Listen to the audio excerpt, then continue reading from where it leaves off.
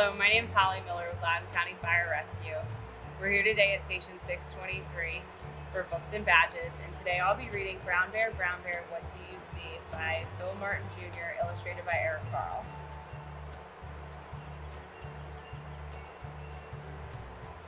Brown Bear, Brown Bear, what do you see? I see a red bird looking at me. Red bird, red bird, what do you see? I see a yellow duck looking at me. Yellow duck, yellow duck, what do you see? I see a blue horse looking at me. Blue horse, blue horse, what do you see? I see a green frog looking at me. Green frog, green frog, what do you see? I see a purple cat looking at me. Purple cat, purple cat, what do you see? I see a white dog looking at me. White dog, white dog, what do you see? I see a black sheep looking at me.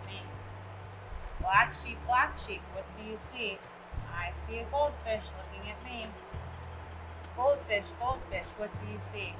I see a teacher looking at me.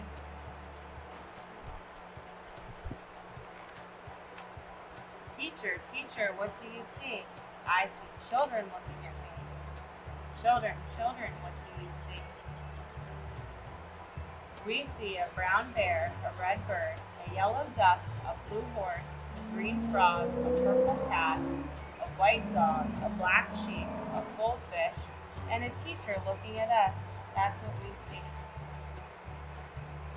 Thank you for joining us today for Books and Badges.